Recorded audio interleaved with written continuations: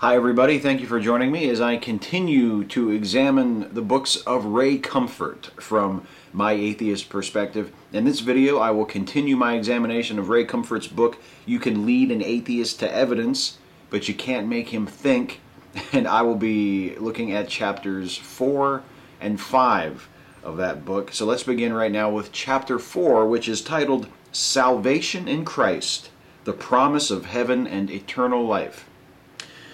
Ray opens this chapter by lamenting how frustrating it is to deal with atheists. It's so obvious, he says, that God exists, that we all need salvation from hell, and that Jesus is the only way to get that salvation.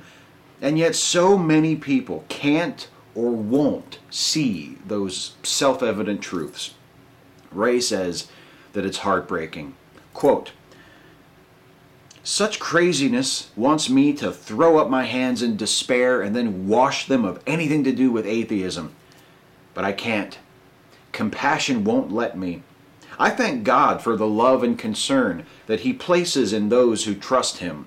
Without it, I'm not sure I would even care about the salvation of anyone but myself and my immediate family and friends. Thanks, God. Also, remember, everybody, you're only a good person because God makes you a good person. Ray Comfort doesn't care about atheists or presumably anyone else because of any compassion or empathy innate to himself. It's that God is using the Holy Spirit to force him to care. All the good things about you, the decency, the kindness, the concern for others, are on loan from God. You yourself are a filthy, selfish, evil creature who deserves nothing but eternal punishment just for being here. Oh, also, you were made in the image of God, and He loves you. Okay?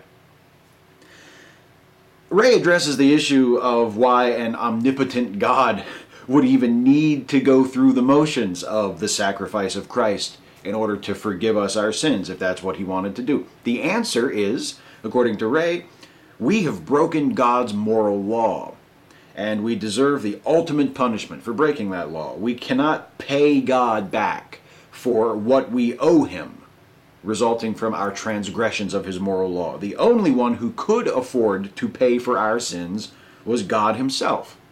So that's what he did.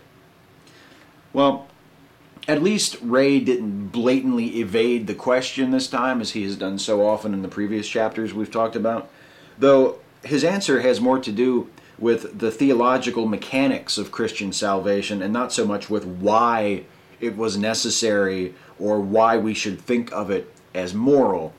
Ray adds that because uh, God is of a perfect character. He has a perfect moral character and he's perfectly just. Uh, he could not have simply forgiven us. It just he was bound by his perfect moral character that he had to hold us accountable for our our transgressions of the moral law. Um, and he must have retribution for our disobedience and and he decided to take retribution on himself I guess, uh, so he wouldn't have to take it on us. Mighty big of God to do that. Um, I find it interesting. I find it noteworthy that in this conception of perfect justice, according to Ray Comfort, that there is no component of mercy or compassion whatsoever. Perfect justice, according to Ray Comfort, and apparently according to God, is just strict, blind legalism. So it's good to know that, in case you were ever wondering what the concept of perfect justice entailed. Also, apparently, God's undeniable need for retribution, which is so undeniable that he, he can't even, he's not even able to just forgive people their sins. We must be made to suffer for our sins. Um, that, that need for retribution, so overwhelming, but not so overwhelming that it couldn't be satisfied by the phony bit of theater that was the sacrifice of Christ, at least when looked at from God's perspective. Ray Comfort and other apologists often scold critics of Christianity to remember that ultimately it's not our point of view that matters, but God's. So let's look at the crucifixion from God's point of view.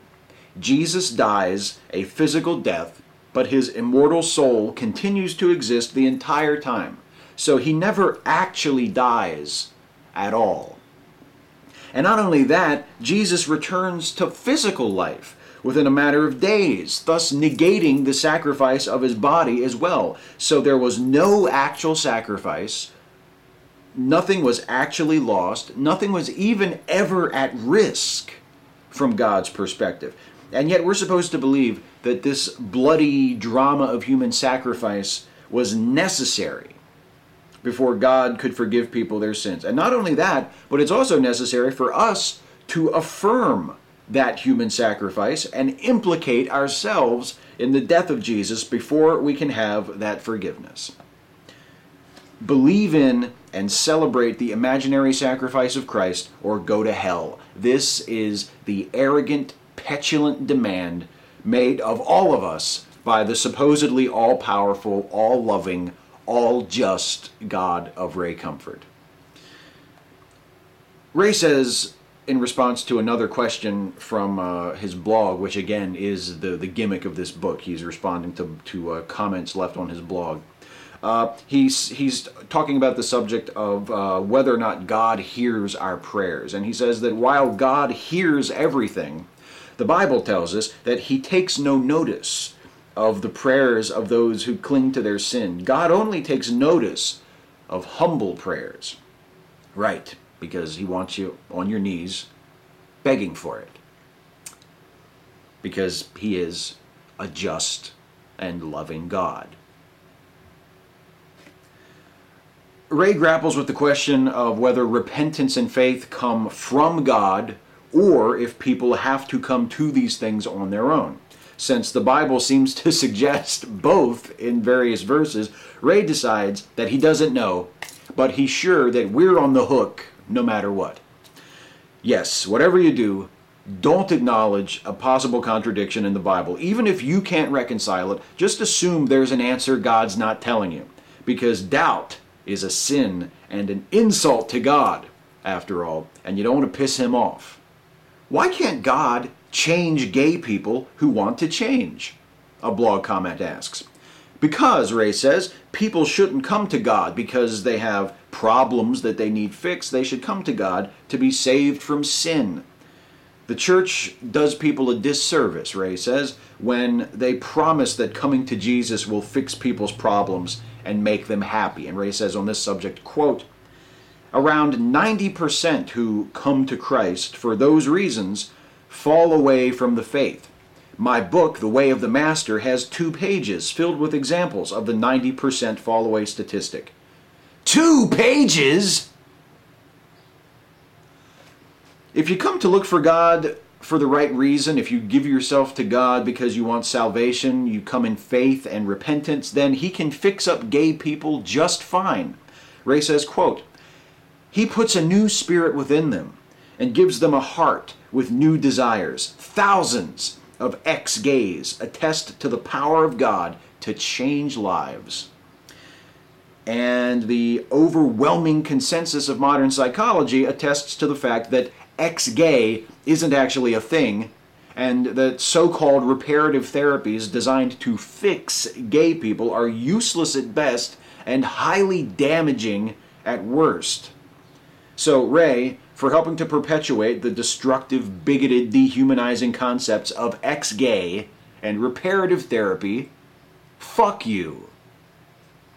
Staying on the subject of homosexuality, Ray says he doesn't believe people choose to be gay, that it's more like homosexuality is just one possible result of the sinful nature that we're all born to. And it's more like people just choose that particular path of sin.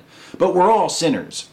Uh, gay people have just chosen to follow the gay sinful path as opposed to the other ones. Uh, but the good news is Jesus can save you, etc., etc., etc. So if any of you are taking notes, go ahead and just underline that fuck you from a second ago. New chapter section titled The Promise of Heaven. What's the deal with heaven anyway? What's it like? What goes on there? Where is it located?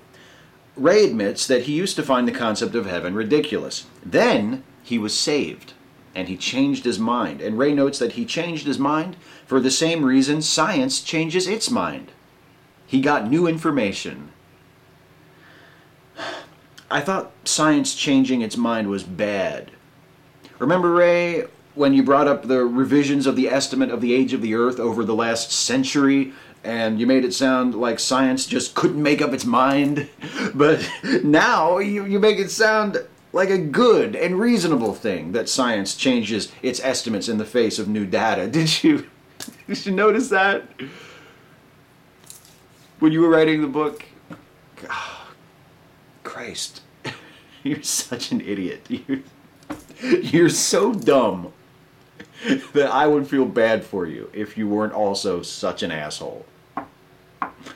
Anyway, when Ray got saved, he realized that heaven could exist because it was supernatural. He then compares radio waves, which are a real thing, to heaven, which is an imaginary place and says that uh, just as with radio, we can know heaven is there if we have the proper receiver. And when we get saved through Christ, our receivers are plugged in, so to speak. Also, Ray doesn't know or even particularly care where heaven is located, but he knows that eventually it will be located right here on earth because the Bible says that God will set up his kingdom here on earth and will reign for all eternity. What will this kingdom be like? According to the Bible, God is going to get rid of the sea. So that's one thing. And Ray figures that since God is light, he'll get rid of the sun too, because at that point the sun will just be redundant. Quote, no enjoyment on this sad old earth has come even close to the unending pleasures that God has prepared for those that love him. This is the teaching of the Bible, and you are going to miss out simply because you refuse to change your mind, repent, and trust the Savior. Well, maybe. Or maybe because I don't think the Savior exists, or because even if he did, I would be incapable of involving myself in anything so grotesquely immoral as Christian salvation, or of worshiping a God as petty and cruel and stupid as the one in the Bible. There are also those factors to consider when dealing with the subject of why I'm not going to heaven. So, God's going to get rid of the sea. Sounds great, doesn't it? Uh, and no more sun either. I notice Ray's model of God's kingdom on earth doesn't take much account of the rest of the fucking universe. Which makes sense in a way because it's based on the Bible, which also makes no accounting for the rest of the fucking universe. But you know, from Ray's description, I mean, it sounds like earth and heaven are the only two places there are, which would make this pretty much the same scientifically ignorant, anthropocentric bullshit that people believed a, a thousand years ago. but that would be foolish, wouldn't it? A commenter complains about the no seas in heaven thing, and also about getting a perfect body in heaven, uh, but not being able to feel lust, and therefore not being able to take advantage of the perfect body. Ray says that heaven could still have lakes, even though there won't be a sea for some reason. And then he chides the questioner for being driven by his sexual perversions. Yes, this exchange consisted of one adult addressing another adult in an economically, socially, and scientifically advanced nation in the 21st century, just in case you were wondering. A commenter suggests that Christians like Ray are so taken with the prospect of the world to come that they don't really care about the world that we have right now. Ray counters that the only answer to many of the problems with the world we have right now, such as natural disasters, is for God to come in and put everything right. And he also insists that he does have love for the natural world. For instance, he likes trees because they are great for making houses. Yeah, you know, they're also great for maintaining the atmosphere that allows us and countless other living things to breathe. But sure, houses houses are nice too. Considering natural disasters to be problems that need fixing is another indication, as if that trees make great houses thing wasn't enough of an indication, of Ray's primitive, selfish, anthropocentric perspective.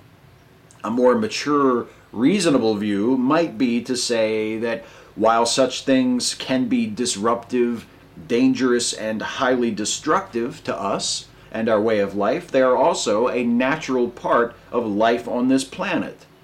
And there's nothing broken or evil or in need of fixing about them. Something that is bad for us is bad for us, not absolutely bad. Ray finishes up the chapter responding to a comment asking about why evangelism is needed in a world that is ruled by a supernatural God who offers supernatural salvation. Ray's response? A complete non sequitur about the importance of different churches getting along with one another. The disagreements among Arminianism and Calvinism will be resolved eventually, as the Bible promises. Until then, Ray says, firefighters are here to fight fires, not each other. Again, the possibility that truly irreconcilable differences may exist due to errors or insufficiencies in the Bible is not considered even hypothetically. The Bible is perfect, it has to be perfect, and anything that makes it seem like it's less than perfect is just a question that God will answer when He's good and ready. An honest interpretation of the book is impossible when you start with that attitude. Chapter 5 the testimony of Holy Scripture. Ray begins this chapter by lamenting the hypocrisy of televangelism and how the greed of those money hungry preachers has robbed Christianity of credibility in the eyes of the doubting world. And if you want to learn more about how that greed and hypocrisy has infected the church, try one of the other dozens and dozens of slim, unnecessary cash in books Ray Comfort has published. But while greed and hypocrisy is a problem with Christianity, fortunately, wisdom is not. At least not the wisdom of this world. Ray says, quote, So if you look around the Christian faith, you won't find many of those proud people who are puffed up in their own fleshly wisdom. In fact, if you look hard enough, you'll probably find a few more Christians like old Ray Comfort who regard that so called fleshly wisdom with suspicion and panic worthy of a 16th century witch hunter. Ray advises us that we should always consider biblical passages in context. Yes, quote mining is an inexcusable tactic, isn't it? And to remember that just because the Bible describes something, that doesn't mean that it is condoning that which it is describing. And that's a fair point Though I would argue that most of the most morally reprehensible acts described in the Bible, the genocidal flood of Noah, the divine command to slaughter the male Midianites and enslave the women, God's permission of the torments of Job, the supposedly righteous Lot offering up his daughters to be gang raped, etc., plus the crucifixion salvation doctrine itself, are unambiguously condoned. Ray answers a blog comment about wisdom and God's apparent disdain for it by pointing out that God considers those who think of themselves as wise to be foolish, because the wisdom of this world is foolishness with God. But Ray says if you want to interpret that as meaning that God likes his followers dumb, then go for it. And he says, quote, But let me see if you are a wise person. Can you make honey from nothing? How about a glass of milk from nothing? How about a living leaf? Can you make a living frog or a cat, a horse or a cow from nothing? How about an eye? Make me a fully functioning eye using no materials. Can you? Of course you can't. All of which somehow speaks to one's level of wisdom, apparently. Can you make a glass of milk from nothing? No. Ha ha ha ha. Stupid. Ray continues, quote, You don't even have an intelligent answer for how those came about. You would probably say that evolution is responsible for making everything, but that it didn't make it from nothing. It made it from gases in space. Well, as someone who took a first year college biology course and therefore has a rudimentary understanding of the theory of evolution, no, I probably would not say that. However, if you want to change the subject to astronomy and cosmology and talk about stellar and planetary formation, then yeah, I guess gases in space is more or less acceptable as a very general sort of answer. Ray's not done yet, though. He's been putting me off with the short right, but he's about ready to bring that big left hook around.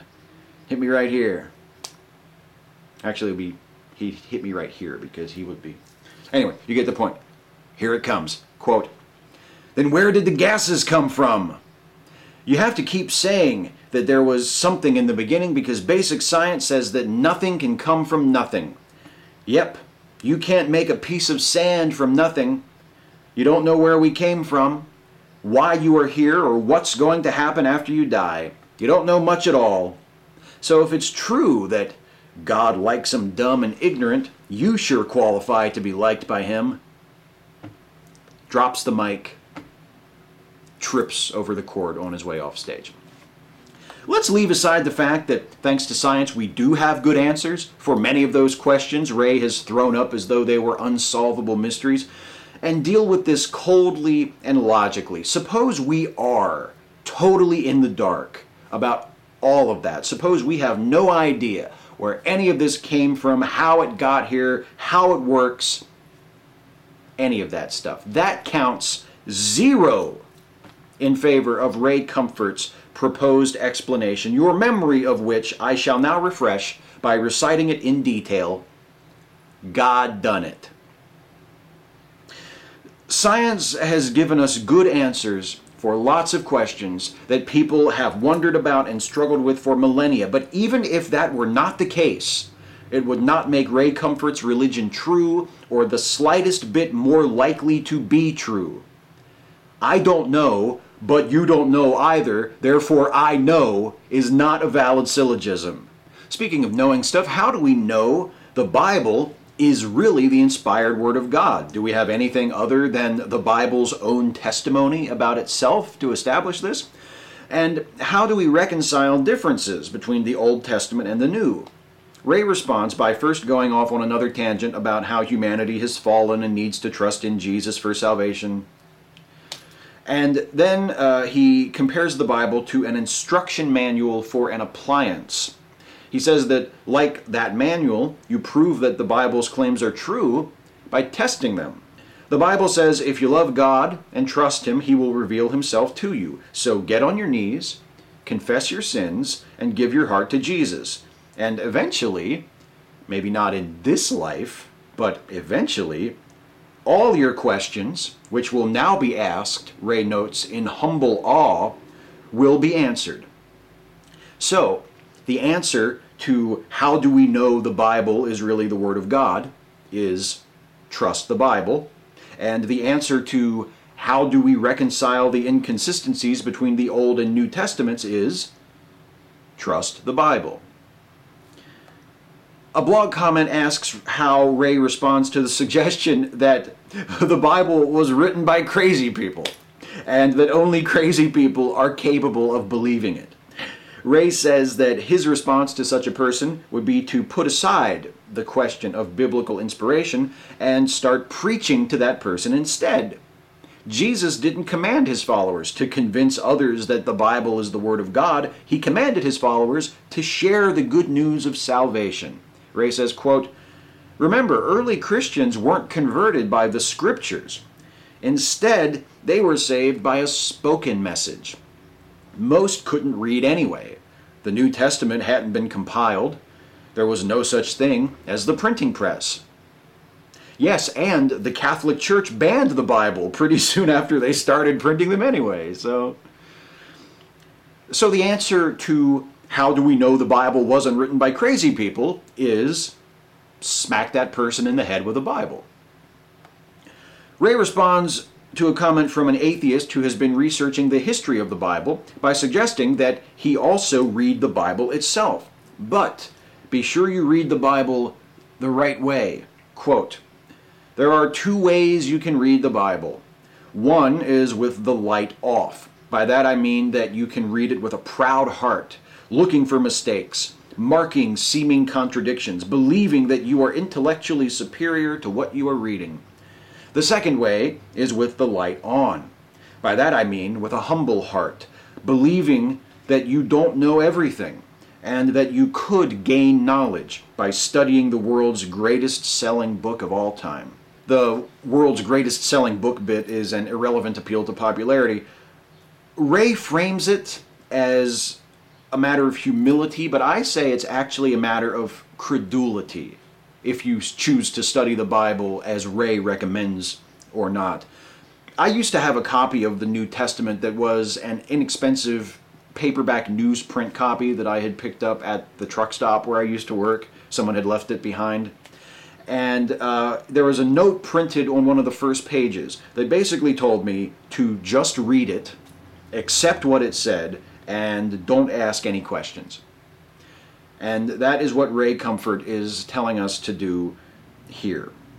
And to me, it's not a matter of putting yourself above the work you're studying. It's a matter of studying that work honestly and critically.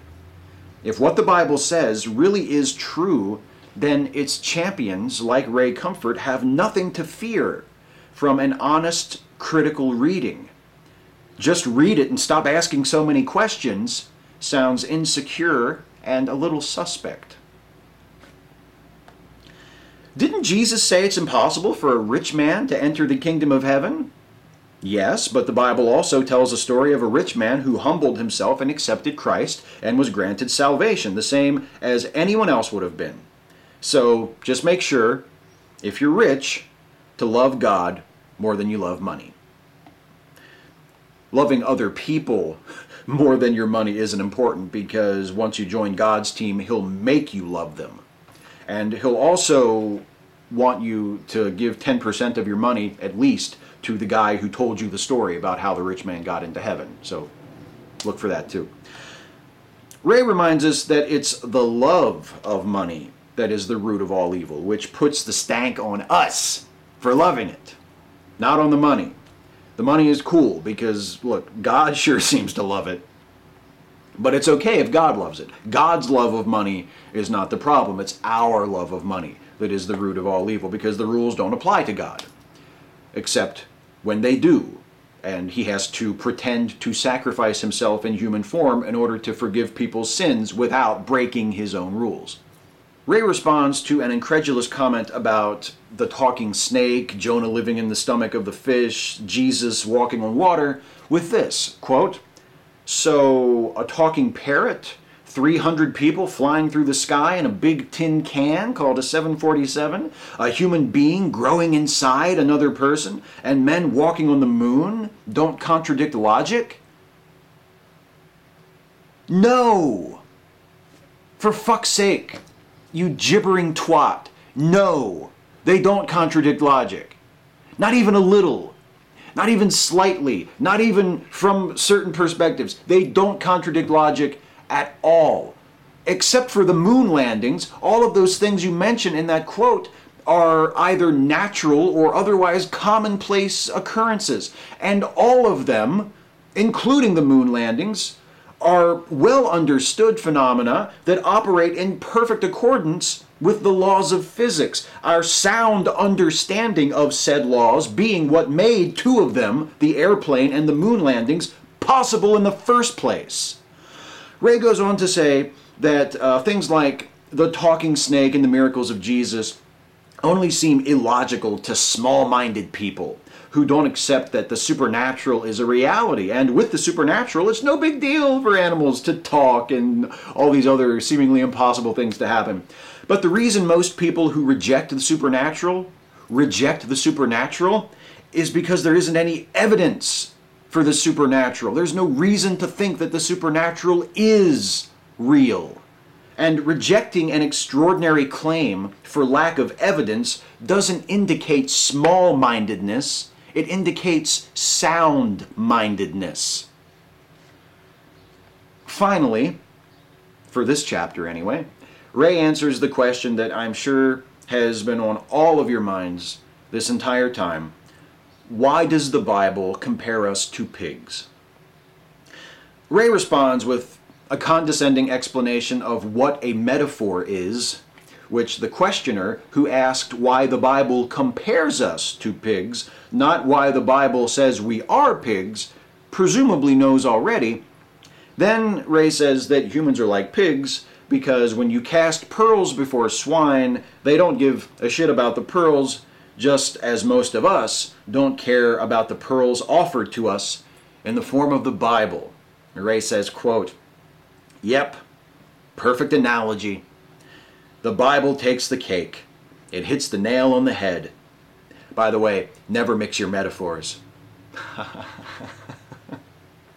and never read Ray Comfort while you have access to a gun, sharp objects, or a lethal amount of alcohol for your own safety. That's it for this video. That's it for chapters 4 and 5. I will return in the next episode of this series to finish up with the first book in the series because recall that this series will deal with two Ray Comfort books. In the next episode, I'll finish up uh, You Can Lead an Atheist to Evidence, but You Can't Make Him Think by looking at chapter 6, which is titled What Sets Christianity and Christians Apart, and chapter 7, The Witness of Jesus Christ and of God's Holy Spirit. And I'll have some concluding thoughts on the book as well, and we'll transition into the next book that will fill out the remaining six episodes of the series after next week, which is Ray Comfort's uh, God Doesn't Believe in Atheists. So, finish up the first book, get ready for the second book. That's the next episode. Thank you guys, as always, for watching. I do so appreciate that this is of interest and of use to you. Uh, leave a comment, ask me a question, amplify a point, agree with me, disagree with me. It's all good. I look forward to hearing from you, and I'll see you in the next episode.